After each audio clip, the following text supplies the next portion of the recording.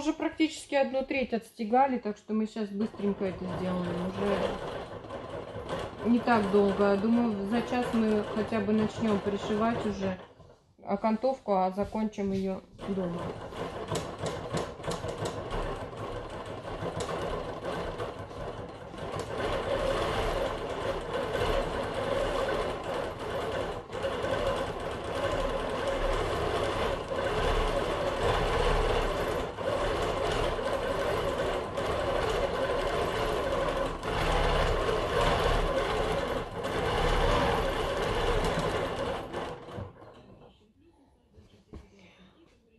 Что, еще раз о том, что мы делаем. Мы шьем пасхальную салфетку. Мы вчера пришили аппликацию, сегодня мы делаем стежку. И я надеюсь, что сегодня мы хотя бы приблизимся к логическому завершению. А во всяком случае, настрой такой есть. Для тех, кто спрашивает и спрашивает по поводу набора. Набор в школу стежки начинается а, уже на этой неделе. Тем, кому не терпится попасть и кто очень хочет, можно уже писать в директ и спрашивать, как оплатить и что нужно делать. А, если вы хотите узнать, какие материалы вам нужны, список материалов есть а, под описанием курса на сайте. И когда я сделаю анонс, там он тоже будет. Поэтому, кто очень хочет учиться, welcome, будем учиться. По поводу новых мастер-классов. Завтра я напишу, что будет нужно. А вы пока делитесь тем, что получается у вас. Потому что очень интересно э, увидеть, э, как, например, вижу изделие я, так оно выглядит у меня. Возможно, вы сделаете другую стежку, и оно у вас будет смотреться совершенно по-иному. Это тоже очень интересно всегда. А мы вчера или позавчера с кем-то разговаривали о видах стежки и а, кто-то сказал, что я вот не особо умею стегать, и что же мне теперь а, не участвовать в фестивалях, там не показывать свои работы. Совершенно нет. Я считаю, что и обычная стежка там по каким-то прямым, простым линиям, она тоже может быть интересна. Ведь если к любому занятию подойти с креативом, то любое ваше творение будет пользоваться успехом. Это не обязательно вы должны там уметь очень-очень много всего, чтобы ваши изделия были привлекательны. Что в изделии важное? Важно, какую ткань вы используете, важно, какие нитки вы используете. Само сочетание. Иногда ты смотришь, изделие вообще очень-очень-очень простое, но такие выигрышные сочетания ткани использованы, что тебе просто хочется, чтобы оно жило у тебя дома. Поэтому не расстраивайтесь, не отчаивайтесь. А кто захотел, освоить стежку, ну тут уж преград нет. Идите просто и.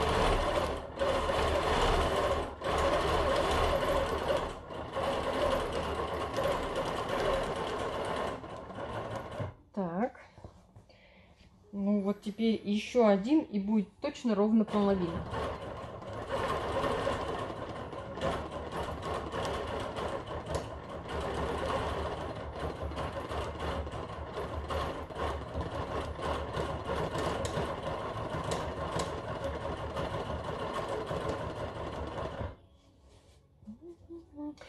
Все-таки какое счастье, что сейчас у нас много чего есть, да?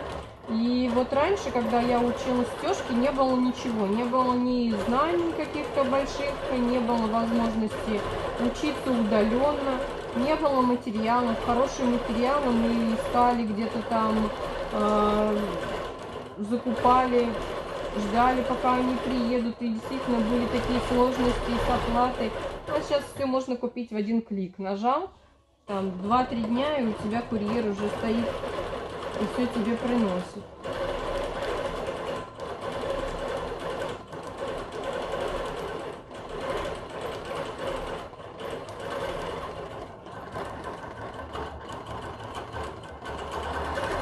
Я сразу же обхожу вот здесь вот строчкой контур, чтобы потом мне было удобно обрезать его. Нам важно, чтобы весь контур, видно вот здесь вот, да? Нет. Машинка мешает. Это так, если поверну. Угу.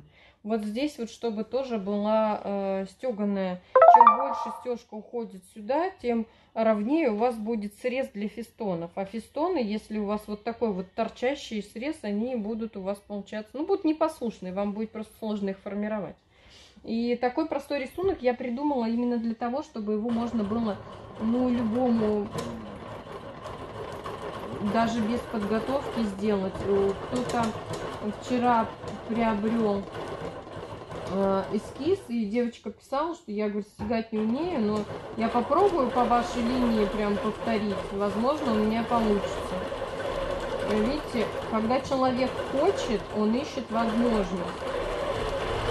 И вы точно так же. У меня были студенты, которые говорили, я хочу попасть к вам на курс тёшки, но никак не могу. Я говорю, что мешает? Она говорит, наверное, собственная голова. То есть три года человек ходил, мечтал, что нужно прийти на курс тёшки, и только через три года она пришла. Но, скажу я вам, изделия у нее действительно были потрясающие. То есть не зря человек пришел, э, талант определенно был.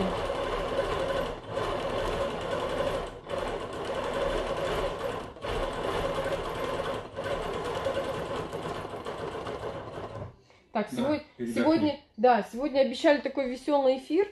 А, мы готовились к нему морально. Почему никто не говорит тосты? Вот у меня стоит бокал вина. Я уже немножко устала. Мне моим да, я возьму телефон. рукам нужен отдых. Передохни. Давайте, да, давайте пару минут, потому что немножко надо уже размять спину, то я как-то так подустала слегка. Можно мне бы еще вот кусочек сыра, я бы вообще счастлива. Ты не дотянешься? Хорошо, я сама возьму.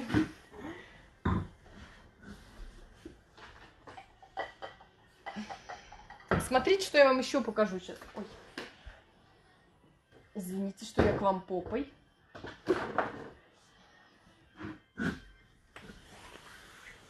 Вот этой салфетке уже э, два года. Я ее делала на Пасху как мастер-класс. Вот видите, тут все классическим способом сделано. Тут ХВ, вот если открыть, э, видно как раз. Э, но она простегана не контрастной ниткой. То есть можно буквы пройти контрастной ниткой, они будут выделяться. А здесь вот у меня э, цветущая вишня. Да, три года ей. Есть мастер-класс по этой салфетки, но он статичный, то есть там нет видео, это все сделано фотографиями. Если хотите, я его опубликую на сайт, ее тоже можно сшить, ну, буквально за день, потому что здесь просто два кусочка ткани разного цвета, просто стежка, схемы, наносите схему, ну, там, в принципе, в мастер-классе все будет понятно. Я думаю, что стоит, да? Еще у нас на сайте появились теперь мастер-классы с Юлией Бергман. Мы начали работать. Она начала преподавать у нас в студии, и э, мы начали выкладывать ее маленькие мастер-классы. Она сейчас, как сказать, набирает обороты, пытается сделать. То есть и каждый следующий мастер-класс, он сложнее и сложнее. И э, сейчас они лежат на сайте, тоже их можно купить, сразу же получить. Все очень доступно. Поэтому вот вам Тост тебе за всех за нас. Хороший тост. Давайте, давайте. За, за, за всех за нас. Вова, ты, ты за рулем сегодня, да? Разберемся. шикарно. Какой вопрос, конечно, хотим. Конечно, хотим, конечно, хотим. А, да, я чуть не забыла. Это про салфетку, наверное, вот это вот. Да, я, я поняла, что... А дизайн к этой салфетке будут? Да, конечно, в мастер-классе он есть, конечно, дизайн есть, все есть. Ну, я не думаю, что мне стоит делать его уж очень там дорогим каким-то. Нет, он будет нормально. Хорошим будет. После глотка вина всегда так есть хочется. Я совсем забыла. Тем, кто у нас покупал швейные машины, любой мой курс идет в подарок. Так что на этом потоке у нас будут те, кто получил этот курс. И многие, кстати, после того, как приходят на курсы, начинают технику менять. Не торопитесь, пока вы не пришли. Потому что всегда очень много вопросов. Что должно быть у машины? Какая должна быть машина? Очень много можно на эту тему говорить. Как-то даже у нас был эфир Большой тоже мы в один там э, час не убрались. Мы тестировали много разных машин. Когда мы сделаем ремонт студии, мы его обязательно повторим, потому что эфир действительно был интересный. Мы пробовали стежку на разных моделях с разными функциями. А теперь у меня еще есть феечки, которые тоже стегают, так что мы будем пробовать это на них, не только на мне. Так что все хорошо, все нормально. Будем шить, девочки, будем шить и будем жить. Не отчаивайтесь, не унывайте. Я, в принципе, каждый эфир это говорю, поэтому не надо падать духом. Если уж стану совсем скучно, выйдите, правда, там на природу, к подъезду, в сад, куда-то подышите, переключитесь. И хочется в ленту больше, наверное, каких-то весенних цветов. Вот в Краснодаре, наверное, уже яйца сейчас будешь лето. да? нет? Нет, яйца нет. Яйца пусть они у меня такие вот объемные будут, пусть будут похожи на яйца. Мгм. Так, ну что, я дальше. Какой сыр ешь? А, какой-то твердый сыр, я не помню название, но какой-то твердый сорт. Ну, жирненький такой, хороший. Жирненький. Ну да, жирненький, что? Что тебе не нравится слово? Ну, есть легкие же сыры, есть... э, Я не знаю.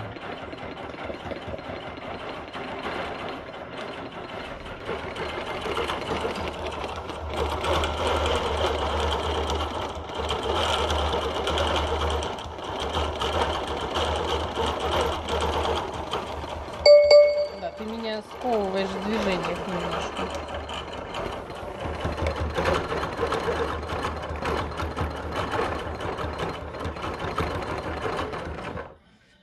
Я боюсь тебя задеть рукой.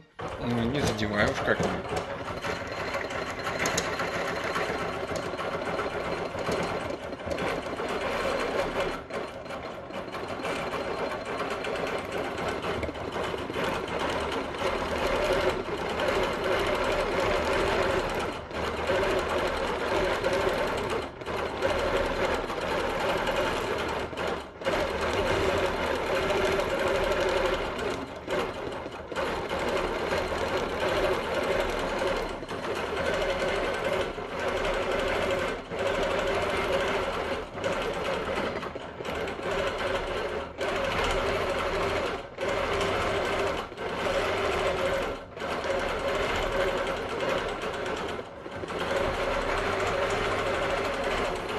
Как-то вот здесь осталось у меня много места, я вернусь сюда. Пожалуй.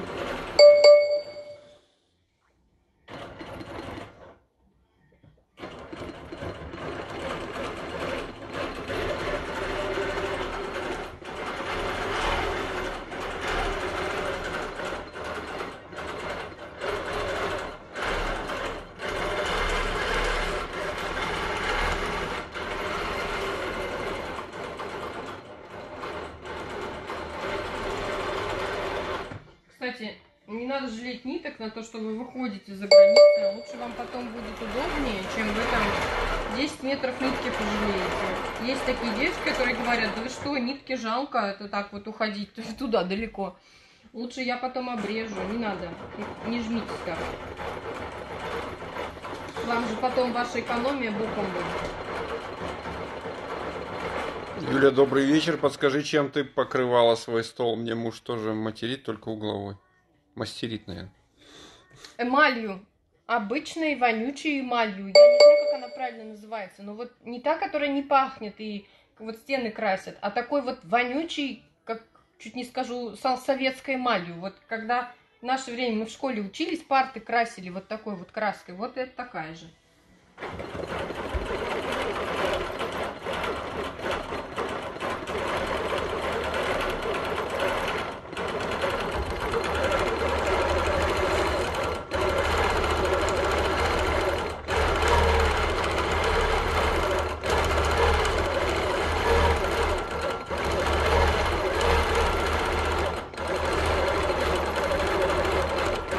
Сегодня вот только простегаешь, все? Нет, нам надо еще пришить э, окантовку, обрезать и начать пришивать окантовку или хотя бы показать, как проходить угол.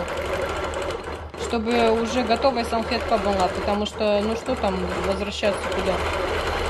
Выходить на эфир просто окантовку пришивать, мне кажется, это скучно.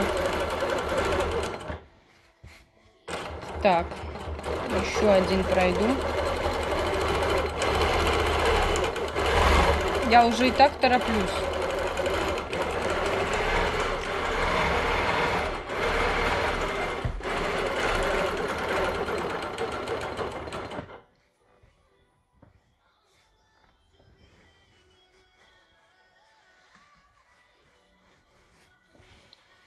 Ну, осталось нам раз, два, три, четыре, всего пять кусочков прошить. Один, один прошей, да? Может быть, мы с вами, э, я сейчас оставлю здесь э, стежку так, как есть, покажу, как э, обрабатывать этот край, а уже потом достигаю, чтобы нам не терять просто времени. Мне кажется, так лучше сделать, да? Да. Так быстрее будет. Хорошо, давайте.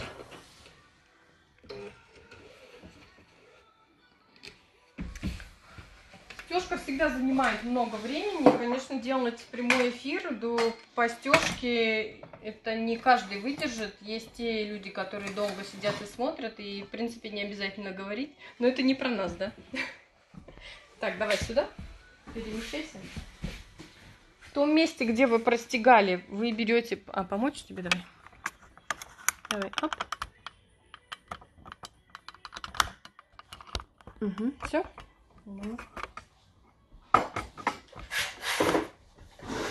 Осторожно, да, не равно.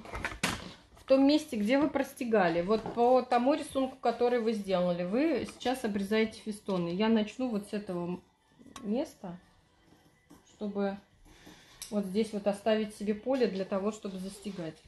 Я делаю это ножницами, не ножом, потому что я э, ножом могу как бы э, промахнуться, лишнего немножко хватануть. А, по идее, можно было эти фестоны еще разочек а, приложить в икрыку, посмотреть, все ли ровно. Но я смотрю, просто у нас искажение идет небольшое, поэтому я этого делать не стала. Верю своим глазам, поэтому просто вот так вот отрезаю. Вижу, что искажение прошло вообще минимально, все ровно.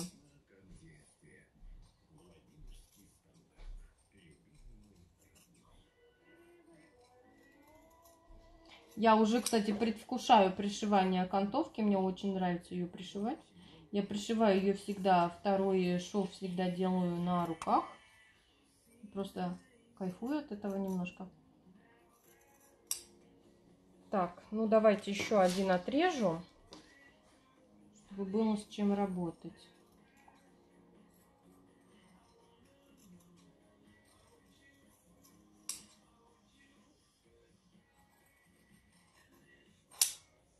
Все, это у нас летит в корзину.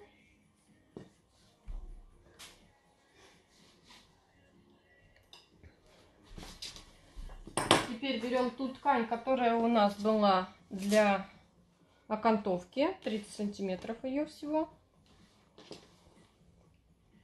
И мы должны ее нарезать под углом 45 э, градусов. У меня здесь есть разметка на мате, поэтому я не буду делать никаких специальных ухищрений, как там ее складывать. Я просто пользуюсь разметкой, которая есть на мате. Кладу по прямой.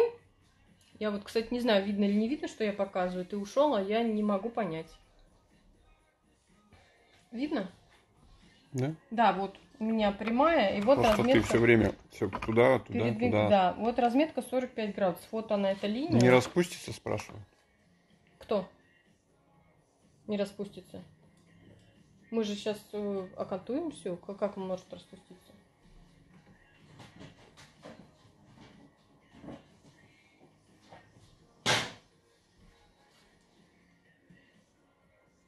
Совмещаю линии разметки с линейкой.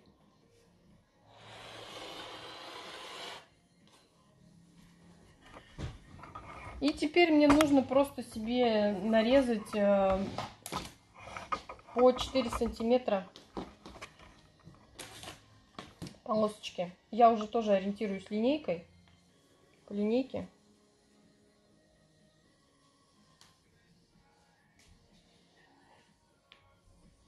Да видно, мне кажется, вот. Ну, это тебе кажется. Да, не видно? Один.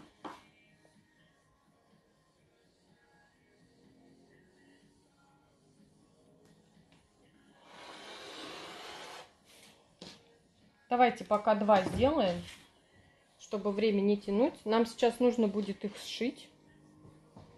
Лицом к лицу, естественно. Чтобы он у нас был длинный, ну, условно бесконечный, да. Естественно, кант вырезается той величины, которая у вас будет по окончанию. Так, мне теперь нужно вон туда, к машине. Я на той машине буду шить.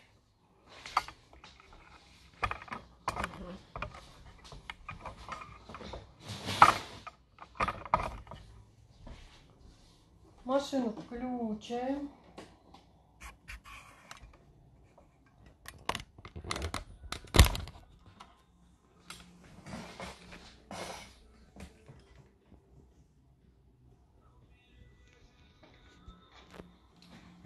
Я сложила. Сейчас включится освещение у машины, будет светлее. Ой, а ниток-то нету.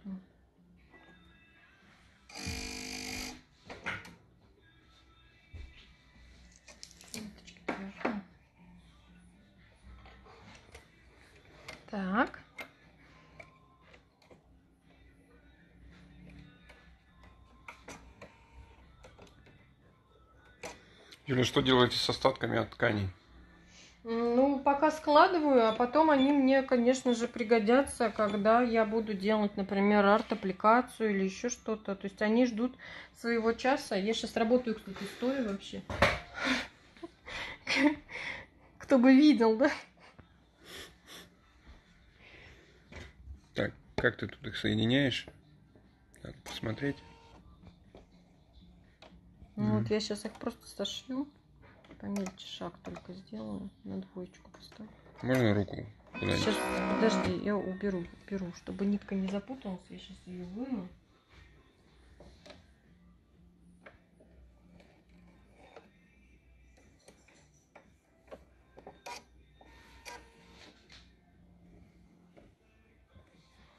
Просто прямой строчкой шью по краю все.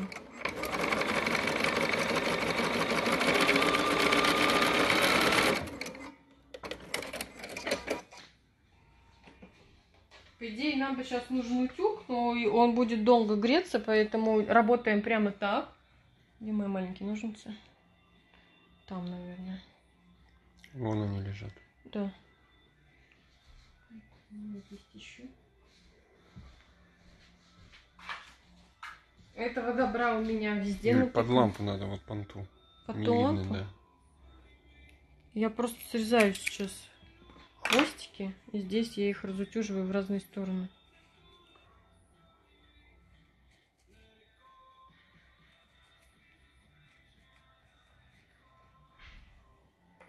Вот Это мне тоже не нужно.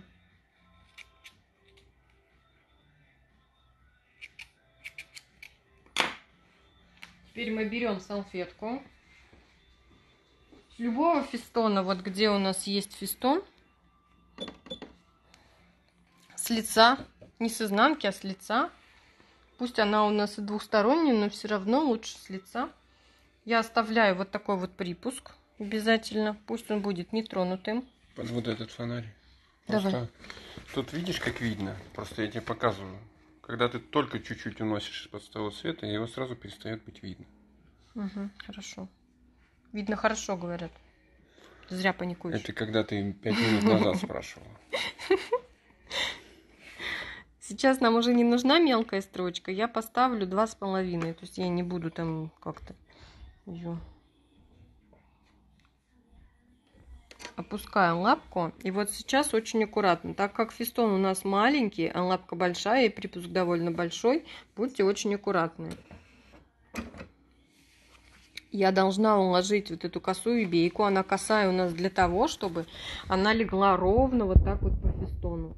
Если бы мы шили прямой контур, тогда бы да, тогда бы ну, чуть выше, так непонятно. Вот мы ее уложили, она лежала вот так ровно, мы ее уложили по контуру фистона. И теперь мы шьем, шьем мы аккуратненько, вот так же, как идет контур.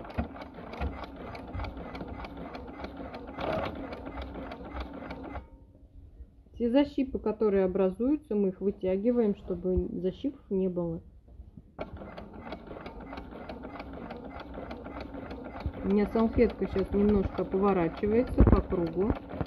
Вот здесь вот у нас будет вот такое вот место, где сходятся два уголка, да, с того направления с этого направления. В, этом, в этой точке я остановлюсь.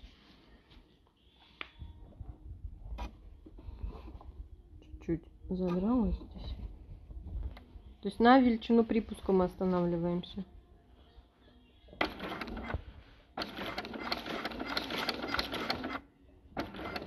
Вот здесь. Теперь я лапку поднимаю. При этом ткань у меня иголка остается там внутри. И я должна вот это вот все вот таким вот образом прям перетянуть и переложить в другую сторону. То есть вот как фистон пошел другой в другую сторону, так я это все дело и кладу. Вот здесь вот очень аккуратно. Сейчас я возьму себе что-то в руки, что мне поможет.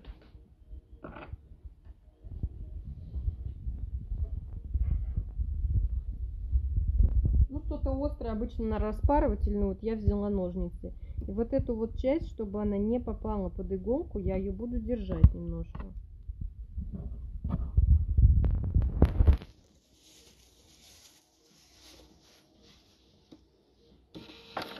Нам нужно сделать буквально пару стежков. Все. Само все легло. И опять я выкладываю по фистону. Возьми чуть дальше. Вот, я выложила по фистону полукруг у меня такой. И я буду двигаться точно так же.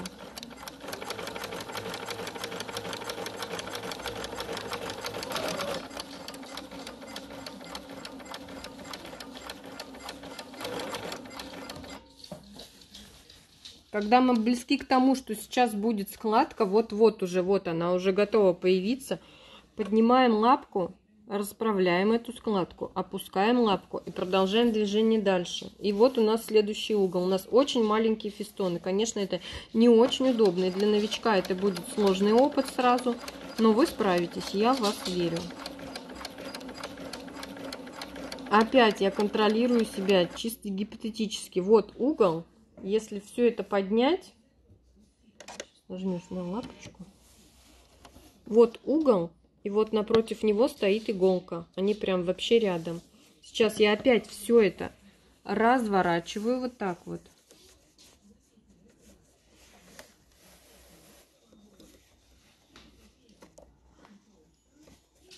Опускаю лапку. Делаю пару стежков. Почему такой большой лапкой работаете? В чем смысл? Это лапка для аппликации. А большая она, потому что у этой машины ширина зигзага 9 миллиметров. То есть у этой машины все лапки такие широкие и большие. А лапка для аппликации мне нужна сейчас для того, чтобы я видела, что у меня здесь происходит. Можно, конечно, вслепую универсальной лапкой пришить, а потом смотреть, какой сюрприз получился.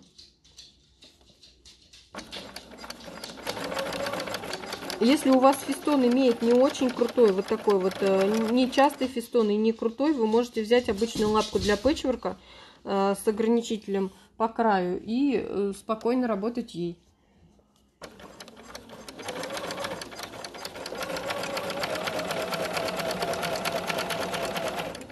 Ну вот довольно быстро все это можно пришить, но я не буду этого делать сейчас, потому что опять эфир кончится и все прерву сейчас нитку.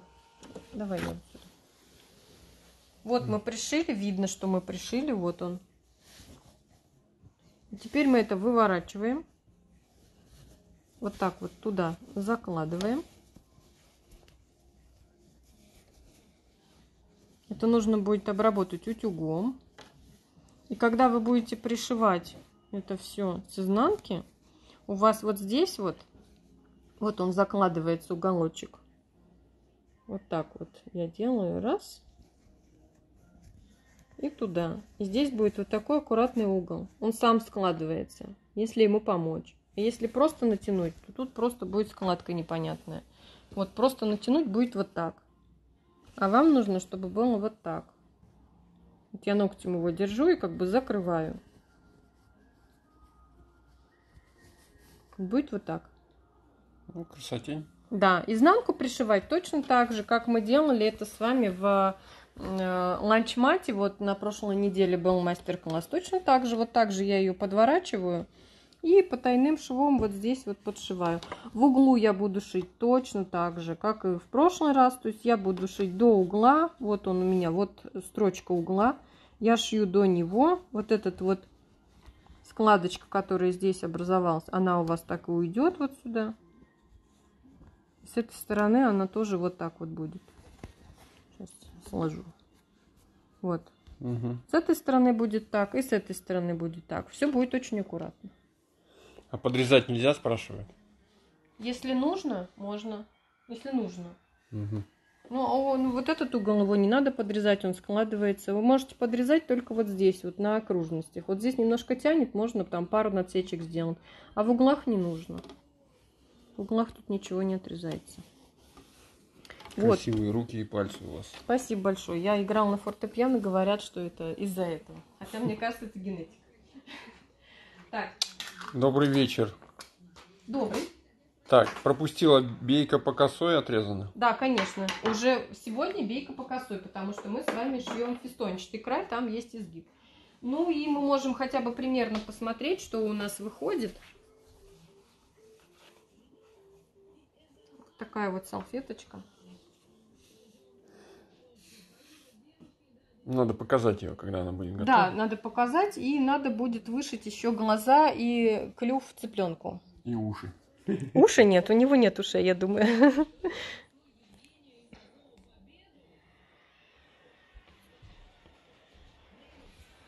Так. Ну, а вот так вот будет выглядеть изнанка. И вот у нас есть такой вот кантик чуть-чуть.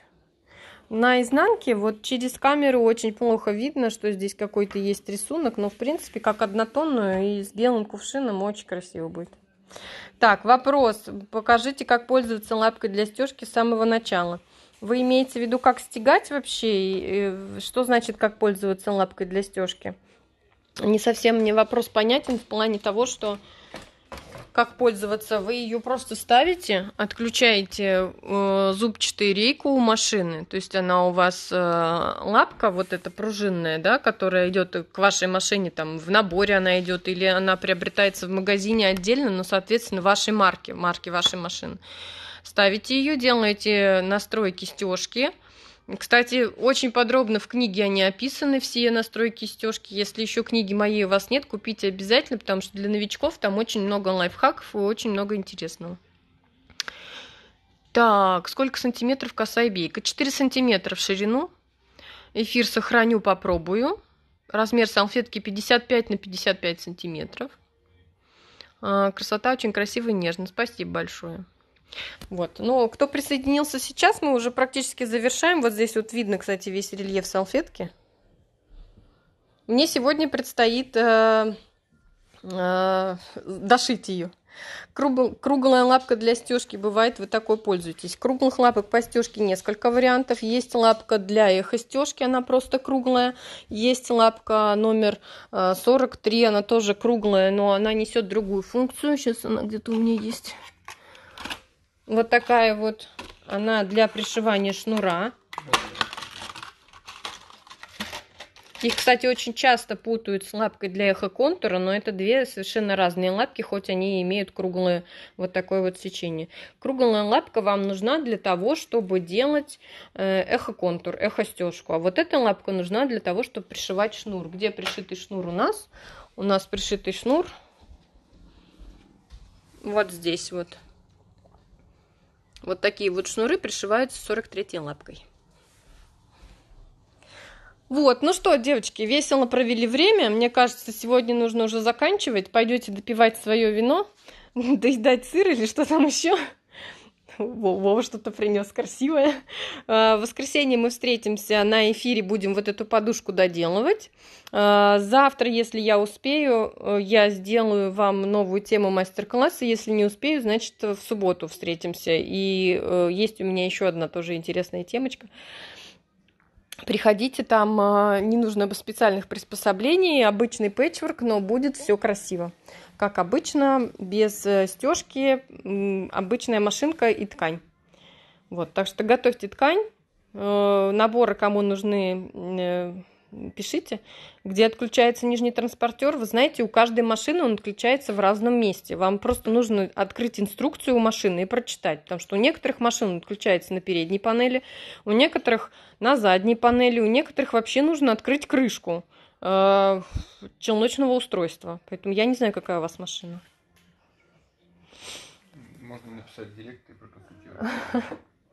Ну да, в крайнем случае можете написать директ, и я вам хотя бы дам ссылочки, где я об этом уже подробно писала. Вот, спасибо за эфир. Спасибо, что пришли. Как вас найти в Ютубе? Просто в поисковике Ютуба набираете доценка Юлия Пэтчворк. Или квилтинг. Ну, найдут. Я думаю. Если нет, значит, сейчас эфир закончится. Нажмите на шапку моего профиля. Там есть такое слово таплинг. Нажимаете на него. И внизу есть прям прямая кнопка на канал в Ютубе. Прямая ссылка. Прямая ссылка, да. А, э, Мастер-класс, который был вчера, вот по этой салфетке, он уже там лежит, и все остальные тоже там. А, Набор на салфетку стоит 1300 рублей, он полностью включен, и 200 рублей стоит дизайн, если вы не хотите брать набор. Ради таких МК можно пережить вирус. Нужно пережить вирус, нужно. Не победит нас эта зараза. Нет, все будет хорошо. Даже если заболеем, с позитивным настроем мы справимся с любой Кого бедой. Поэтому да. Посмотрите на двух этих товарищей. Они только что делили подстилку, а сейчас они уже вот разделились. Один на одной, другой на, на второй. Вот, ну все, детки, я от вас никак не, у- не уйду, прям хочется говорить и говорить дальше. Я уже оживилась немножко, застежка, если честно, немножко застыла.